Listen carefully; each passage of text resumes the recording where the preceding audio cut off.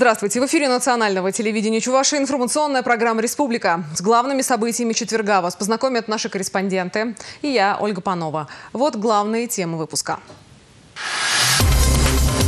Готовимся к весне. В Чебоксарах начали чистить ливневые стоки.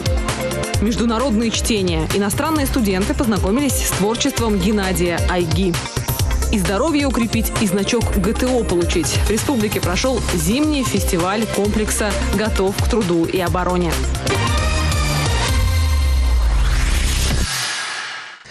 О том, как изменилась за прошедший год столица Чувашии и жизнь горожан, говорили сегодня на ежегодном отчетном заседании городского собрания депутатов. В Чебоксарах подвели итоги социально-экономического развития. 2015 был непростым, этого никто не скрывает. С одной стороны, социальные обязательства перед горожанами выполнены. Построено новое жилье, сданы в эксплуатацию детские сады, спортивные объекты, отремонтированы дворовые территории. Если в 2010 году объемы строительства жилья составляли около 255 тысяч квадратных метров, до 2015 году введено в эксплуатацию более 400 тысяч квадратных метров жилья. С другой стороны, как показали опросы, горожан беспокоит рост цен на продукты, коммунальные услуги, снижение уровня доходов. При росте заработной платы реальный уровень доходов жителей снизился на 7,9%. Причина – увеличения индекса потребительских цен, который по итогам года составил 101,5%. И это основная проблема. Глава Чуваши напомнил градоначальникам, муниципальный долг растет. Есть статьи, на которых можно экономить. Министр финансов Светлана Енилина даже посчитала сумму. Потенциально город может сэкономить 1 миллиард рублей. О том, за счет чего, подробно расскажем в нашем завтрашнем выпуске. Сегодня состоялась очередная сессия Государственного совета Чувашии. Среди основных вопросов повестки – отмена субсидий госслужащим, разграничение полномочий в сфере охраны окружающей среды, особенности применения системы учета оборота алкогольной продукции. Более подробно в нашем репортаже. С 1 января 2016 года организации, торгующие алкогольной и спиртосодержащей продукцией, должны быть подключены к единой автоматизированной информационной системе учета оборота алкогольной и спиртосодержащей продукции, сокращенно ЕГАИС. До 1 июля эта норма касается оптовых продавцов, а с 1 июля и розничные продавцы в городских поселениях должны будут подтверждать факт продажи. Единственное исключение на полтора года до 1 июля 2017 года от этой необходимости освобождены организации, работающие в населенных пунктах, в которых отсутствует существует точка доступа к интернету и где проживают не более трех тысяч человек. В Чувашии 188 таких поселений. В течение года необходимо обеспечить 66% территории Чувашии высокоскоростным интернетом, чтобы система ЕГАИС заработала без сбоев. Передача данных не только зависит от того, что там будет проложено оптиковолокно, оказывается, еще и значит, мощность значит, это, и скорость. Все это влияет вот, на передачу данных. Естественно, мы понимаем, да, если покупатель приходит на точку торговую и хочет купить, скажем так, ну, спиртной напиток, если значит, этот интернет не будет достаточно, скажем так, достойно работать, он может не купить. То есть какой-то парадокс может пойти, это значит приобрести, скажем так, вот на каких-то нелегальных точках. Чтобы таких вот вещей не было, значит, чтобы как-то, скажем так, э, защитить интересы и бизнеса, скажем так, и непосредственно потребителей, вот составлен вот, э, перечень сельских поселений. Парламентарии рассмотрели в первом и втором чтении законопроект о разграничении полномочий органов власти Чуваши в сфере охраны окружающей среды и обеспечения экологической безопасности. Предусматривается разработка и реализация отдельных региональных программ в сфере оборота твердых коммунальных отходов. Кроме того, депутаты одобрили проект закона о приостановлении индексации зарплаты и выделении жилищных субсидий госслужащим Чуваши. Такое вознаграждение не выплачивается в республике второй год. С учетом сложившейся сегодняшней экономической ситуации и средней зарплаты по Чувашской республике, ну, надо, наверное, тоже государственным гражданским случаем потянуть пояса. Депутаты заслушали отчет Министерства внутренних дел по Чувашской республике о деятельности полиции в 2015 году и Чувашского линейного отдела МВД на транспорте. Татьяна Молокова, Сергей Рябчиков, Республика. Сегодня депутат Государственного совета Чувашии, член фракции «Справедливая Россия» Владимир Михайлов принял решение об участии в процедуре предварительного голосования партии «Единая Россия». О своем решении он сообщил на брифинге, который прошел в перерыве очередной сессии парламента республики.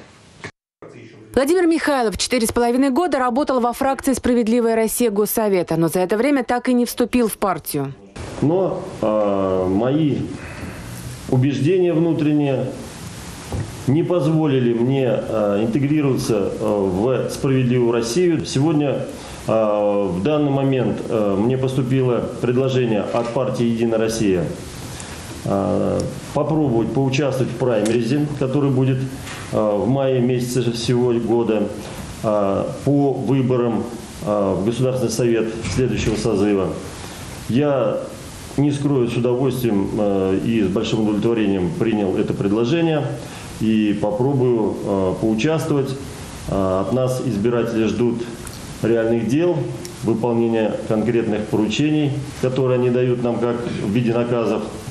Хочу быть в одной команде с теми, кто работает, и пусть жители Чувашской республики в данном случае города Новочебоксарска, на праймеризе решат, нужен им такой депутат или нет.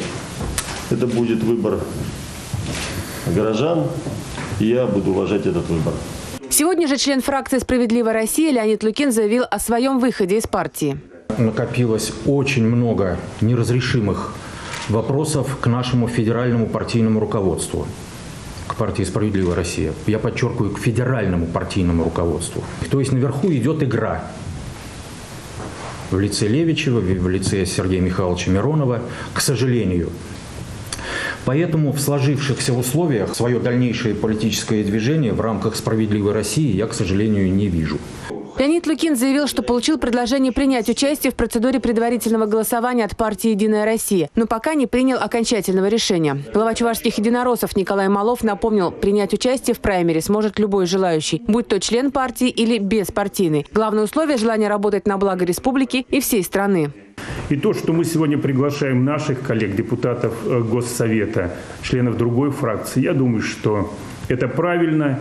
Если я говорил об этом, они чувствуют в себе силы, поддержку избирателя, народа. Если у них есть желание сегодня вместе с нами, засучив рукава, работать над конкретными делами, то, конечно, мы двумя руками «за». Мы протягиваем руку и готовы работать вместе в единой команде с главой республики, с президентом Российской Федерации, фракцией «Единая Россия» в Государственном Совете в интересах жителей Чувашии на благо родной Чувашии и Российской Федерации. Впрочем, заявление депутатов еще не путевка в парламент республики или Государственную Думу. Им нужно пройти через процедуру предварительного партийного голосования, которое состоится 22 мая, и только потом участвовать в выборах. Готовы ли регионы к весенне-полевым работам? Как в 2016 году будут поддерживать аграриев и насколько Россия самостоятельна в плане обеспечения продовольствия? Об этом накануне говорили в Чебоксарах. Окружное совещание провел полпред президентов ПФО Михаил Бабич. Ситуация в сельском хозяйстве России больше зависит от погоды, нежели от положения в экономике, говорят специалисты. Так, в кризисные 2008 и 2009 годы на фоне снижения темпов во многих отраслях агробизнес продемонстрировал устойчивый рост. То же самое происходит и сейчас. В настоящее время для сельского хозяйства сложились э, достаточно оптимальные условия, э, связанные с импортозамещением, связанные с введением санкций, когда сегодня востребована продукция отечественного производителя, когда сегодня серьезное внимание на всех уровнях уделяется мерам государственной поддержки и с федерального уровня, и с регионального развитию сельского хозяйства. И мы видим по итогам 2015 года, что сельское хозяйство демонстрирует устойчивый рост. В 2016-м, несмотря на экономические трудности, господдержка агропромышленному комплексу увеличивается на 7%. На эти цели в российском бюджете заложены 237 миллиардов рублей. В 2015-м закладывали 222 миллиарда. Однако такой поддержкой не так просто воспользоваться. Пример – льготные кредиты. С момента повышения ключевой ставки банками э, были ужесточены условия и порядок выдачи кредитов, кредитов сельхозпроизводителям, э, которые рассматриваются банками как высокорискованные заемщики. В результате введения крупнейшими банками, Россельхозбанком, Сбербанком, обязательной процедуры согласования с главными офисами вопроса предоставления кредита, сроки рассмотрения заявок зачастую существенно затягиваются. У нас есть примеры, когда рассмотрение заявок составляет, срок рассмотрения заявок составляет от 2 до 7 месяцев.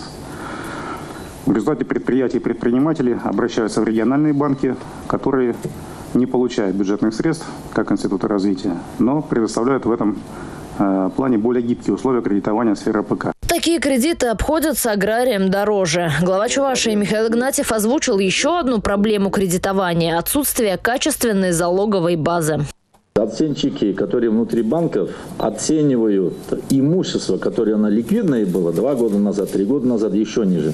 Есть по нашим отдельным предприятиям, когда они и так закредитованы, не могут оформлять кредиты, а залоговая база еще уменьшается. Михаил Бабич отметил, банкам необходимо разработать для аграриев специальные кредитные продукты с учетом специфики заемщиков. Что касается предстоящей посевной, то по данным на 16 февраля 6 миллиардов кредитов Россельхозбанк уже выдал. Это в два раза больше больше, чем за аналогичный период прошлого года. Э, мы до конца первого квартала порядка 6 миллиардов дополнительно еще выдадим, ну и обеспечим, по сути дела, начало проведения весенней полевой кампании. О необходимости оперативно изменить механизмы кредитования говорили накануне и в Минсельхозе России. Сельское хозяйство – одна из ключевых составляющих национальной безопасности. А как известно, что посеешь, то и пожнешь. Ольга Пырочкина, Андрей Спиридонов. Республика.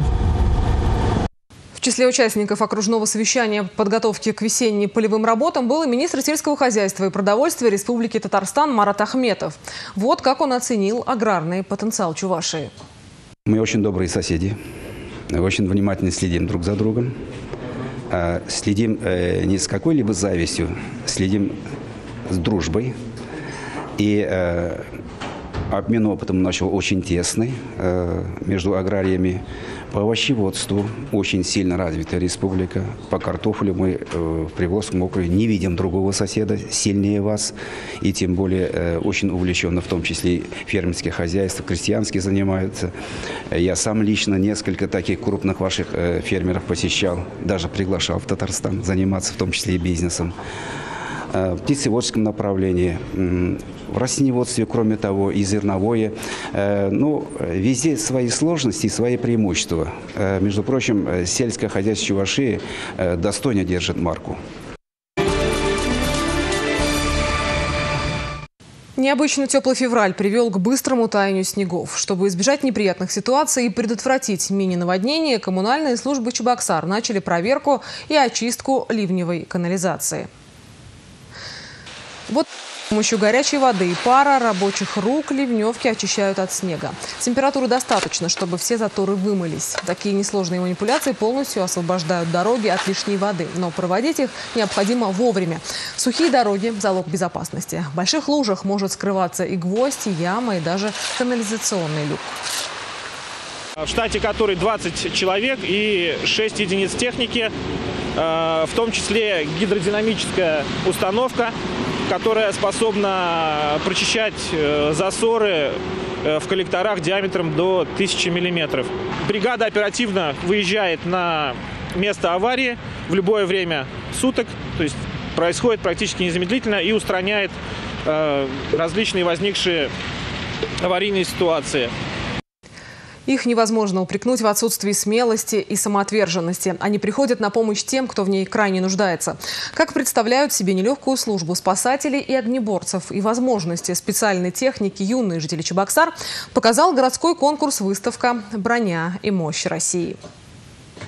Вот уже второй год подряд ребята из разных центров творчества и школ столицы Чувашии создают модели специализированной техники. В прошлом году в честь 70-летия Победы на выставке были представлены макеты военных машин и орудий. В этом году конкурс посвятили 25-летию службы МЧС. Пожарные машины, спасательная техника, автотранспорт ДПС. Всего более 100 работ. Нам было важно, чтобы дети не только сделали работу, но еще узнали о такой важной службе и понимали, для чего эти люди работают и важность и ценность этой профессии. Работу оценивали представители как раз нашей службы спасения. Это и представители ВДПО, и служба медицины катастроф, ну и, конечно же, наши коллеги из других домов и городского центра творчества. Стендовые и лего-модели, модели из геометрических форм и подручного материала – основные номинации конкурса. Но есть еще одно не менее интересное направление – фотография. Появилось оно только в этом году. Участникам этой номинации требовалось сделать снимок на фоне спасательной техники. Посмотреть своими глазами на творение детей можно будет до 1 марта. А у организаторов уже новые идеи. В год человека труда участники будут мастерить специализированную технику – краны, экскаваторы, трактора. В общем, те машины, которые помогают помогают сделать труд человека легче. Юлия Важенина, Игорь Зверев, Республика. Прошедшую неделю в республике вспоминали одного из лидеров советского и международного авангардного искусства, нашего земляка Геннадия Айги. Школьники и студенты знакомились с творчеством поэта, узнавали о его жизни, встречались с современниками Айги. А сегодня стихи нашего земляка читали на разных языках иностранные студенты. Они учатся в местных вузах. Dans ce village à personne, les loques transpercées des palissades paraissaient à personne. Для ребят из Африки, Средней Азии, Южной Америки и Европы творчество Геннадия Аги стало открытием. Большинство из них в России первый раз. Им все здесь диковинку. И если русская зима мало кому понравилась, то работы поэта впечатлили. Мы познакомились с новым поэтом Айги. Нам были очень интересно. Я раньше не читала стихи Айги, а мне очень интересно. Хочу читать и учиться стихи Айги. Советские годы Геннадий Айги мало издавался в нашей стране, но был хорошо известен за рубежом. Поклонники зачитывались его стихами, переведенные более чем на 50 языков. В последнее время интерес к необычной поэзии Айги растет, а в Чувашии его стихи включили в школьную программу. Геннадий Айги жил в разных странах, но никогда не принимал на свой счет обвинения в космополитизме, называл себя гражданином мира. И сегодня его творчество по-прежнему остается языком международного общения, близкого и понятного всем. Екатерина Куприна, Татьяна Раевская, Расиль Мухаметов, Республика. Как в век глобализации сохранить национальную самобытность малых народов? Что необходимо для того, чтобы молодежь не только сохраняла культурное наследие, но и приумножала его? Проекты на эту тему представили участники круглого стола. Встреча состоялась сегодня в Чувашском государственном институте культуры и искусства. Чувашские цифры, традиции и современное применение. Открытое сердце Чувашии – Кереметь. Всего семь проектов презентовали участники круглого стола. У каждого свое видение популяризации чувашской культуры. Проект «Поем чувашский алфавит» стал, пожалуй, одной из самых музыкальных программ. А,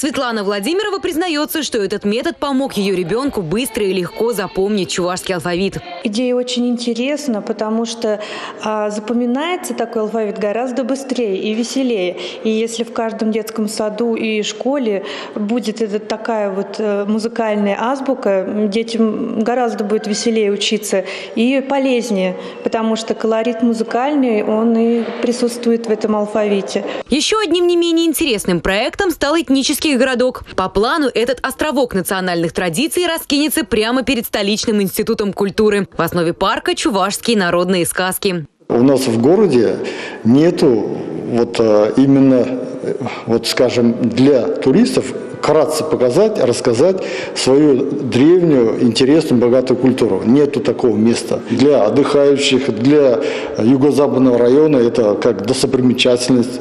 Это очень здорово. В данное время, в 21 веке, мы должны популяризировать и пропагандировать свою национальную культуру, потому что вот э, она очень богатая, она очень э, динамично развивающаяся, потому что это показывает наши Агадуи, как вот э, живо реагируют наши э, люди, жители нашего города. Поэтому это вот мы хотим здесь уже реализовывать. Каждый из участников может внести лепту в сохранение родной культуры, притворив свой проект в жизнь. Юлия Важенина, Надежда Яковлева, Расиль Мухаметов. Республика. Всероссийский физкультурно-спортивный комплекс ГТО объединил школьников всей республики. В Чувашии прошел зимний фестиваль «Готов к труду и обороне», посвященный 85-летию комплекса. В республике завершился зимний фестиваль ГТО, который собрал около 300 участников практически со всех муниципалитетов республики. Каждый человек, он должен знать свои способности. И, допустим, вот какая-то непредвиденная ситуация, чтобы страна была обеспечена спортивными людьми, и каждый, чтобы мог постоять за свою страну. Я пришел сюда, во-первых, для того, чтобы э, победить себя, потому что все равно соревнования такого уровня я еще мало где участвовал. Так что хотя бы попробую на таком уровне. В победе не так уж сильно, а так для участия мы готовы всегда. Главное не победа, главное участие. да. В республиканском фестивале ГТО приняли участие школьники 3, 4 и 5 ступеней, то есть в возрасте от 11 до 17 лет. Кататься на лыжах они умеют, ведь на фестиваль приехали сильнейшие, победившие на предыдущих этапах. На лыжах я стою уже 4 года, и мне этот спорт очень сильно нравится. Трасса была не такая уж сложная, но быстро устала. Каждый из участников приехал на фестиваль комплекса «Готов к труду и обороне» добровольно. Движение э, по пропаганде комплекса ГТО по республике э, приобретает все больше размах. И я думаю, что э, сегодня мы как бы лыжные гонки завершаем. Задача наша в этом году охватить всю обучающуюся молодежь, в том числе и школьники, и студенты. По итогам зимнего фестиваля будут выявлены сильнейшие спортивные дружины среди всех муниципалитетов. Причем результаты участников внесут во всероссийскую базу данных, а значит первый шаг к получению значка ГТО ребята уже сделали. Екатерина Абрамова, Игорь Зверев, Республика. Я с вами прощаюсь и до встречи в эфире национального телевидения Чувашии.